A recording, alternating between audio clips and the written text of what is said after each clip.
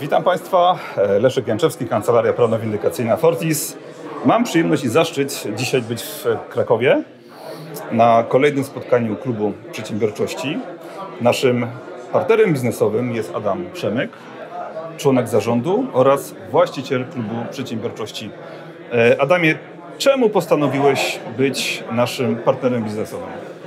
Leszku, po pierwsze to relacja z Tobą i to, że się poznaliśmy uważam, że jest jedną z lepszych decyzji, jaką w tym roku zrobiłem, bo uważam, że większym ryzykiem jest nie być Twoim klientem i partnerem niż, niż na odwrót. Po prostu od kilku miesięcy jak współpracujemy, no lepiej mi się śpi, nie ukrywam. Uważam, że każdy, kto prowadzi biznes w Polsce i to robi na większą skalę, robi to poważnie, to po prostu musi mieć opiekę prawną, opiekę no tutaj z każdej strony, a tym bardziej właśnie no, dzisiaj, tak, w Polsce to jest bardzo ważne i uważam, że to jest podstawa każdego biznesu. Dlatego nie ukrywam, że bardzo się cieszę, że, że mam tą okazję, to ja mam zaszczyt być też Twoim klientem, Twoim partnerem.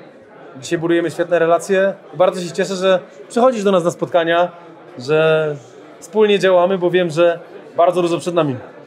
E, współpracujemy już jakiś czas, sprawdziliśmy się w paru trudnych sytuacjach. Myślę, że jesteś zadowolony. Ja jestem bardzo zadowolony. Po pierwsze, bardzo mi się podoba profesjonalizm i niesamowicie szybka obsługa, co jest dla mnie szykujące, bo wcześniej, mając doświadczenia właśnie z prawnikami, bardzo długo czekałem na umowy, na feedback, na doradztwo. Wysyłałem maile, czekałem czasem miesiąc na wzór umowy. A w biznesie bardzo mocno liczy się dziś szybkość, tempo.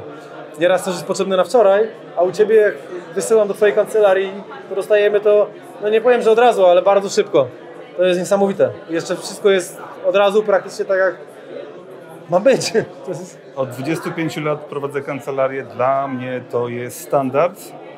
Cieszę się, że jesteś zadowolony. Życzę Tobie i sobie dalszych lat owocnej współpracy.